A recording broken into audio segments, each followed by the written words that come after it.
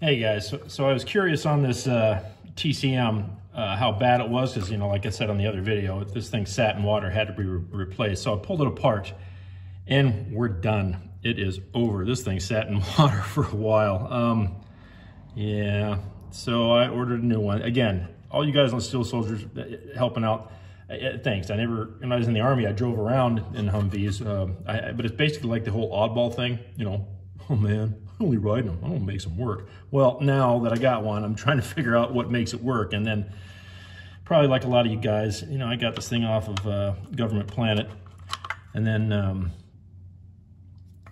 brought it home and the wasn't getting any codes out of the thing and then and you said you know uh, I think your TCM is bad and um, yes this falls under the um, bad category so this thing uh, swam in water for a while all right and again thanks again for uh, pointing me out in the right direction so I can find one for a lot cheaper than what I was originally seeing these things as so I do appreciate the help but yeah this thing's done. It's garbage.